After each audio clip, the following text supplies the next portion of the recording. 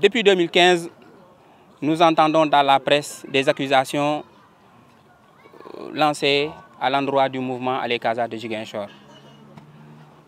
Et cela a conduit aujourd'hui à la division et à des comportements malsains que nous ne connaissons pas dans notre mouvement.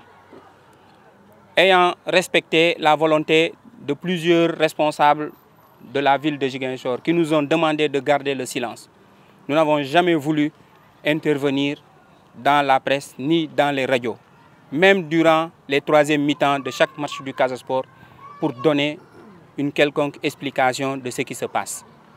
Mais aujourd'hui, nous pensons qu'il est temps que nous puissions nous adresser formellement à cette presse pour que les Casamanciers comprennent que Alekaza a toujours été et restera toujours un organe et une organisation disciplinée et prêt à soutenir le Casasport, ni à détruire le Casasport.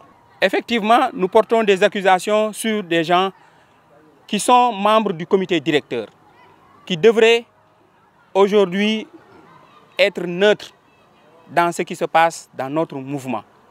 Mais c'est eux que nous entendons dans la presse, malgré qu'ils ne sont pas membres du mouvement Alekaza, qui n'ont pas de carte de membre, qui n'ont jamais assisté à une réunion du comité directeur du Casasport ni du, de, de Alekaza. Mais c'est eux aujourd'hui qui passent tout leur temps à être interviewés dans la presse pour expliquer ce qui se passe au sein du mouvement Alekaza. On ne peut pas comprendre qu'un président d'un comité directeur du Casasport puisse prononcer une dissolution d'une structure indépendante du Casasport et pourtant rester cinq ans sans pouvoir la notifier.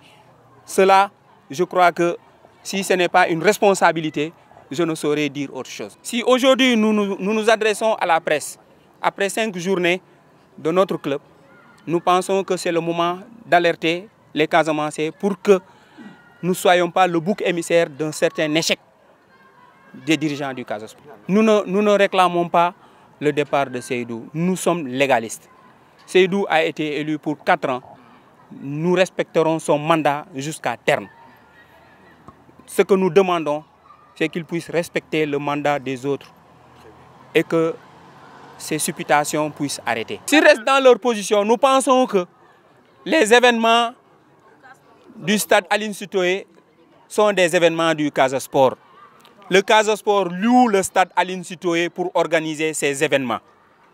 Quand tu organises ton événement, c'est à toi de choisir ce qui va s'y passer. Et maintenant, si réellement le Casasport reconnaît Allez Casa de Malik Djedjou comme la structure légalement constituée, le Casasport n'a qu'à prendre ses responsabilités. Si maintenant, en ce moment, ils ne peuvent pas prendre leurs responsabilités, c'est parce que quelque part, il y a de la naïveté et il y a de la complicité et de l'injustice dans ce qui se fait.